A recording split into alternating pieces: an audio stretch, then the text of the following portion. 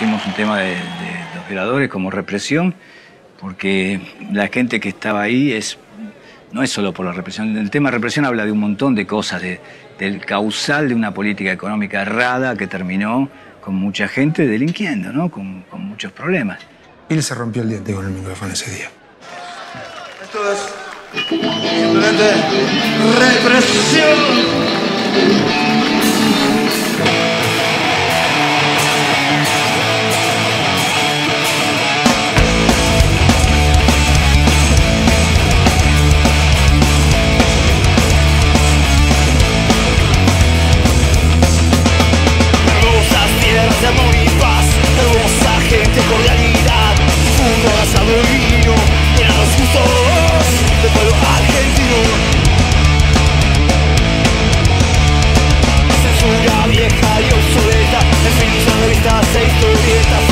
isso te trazia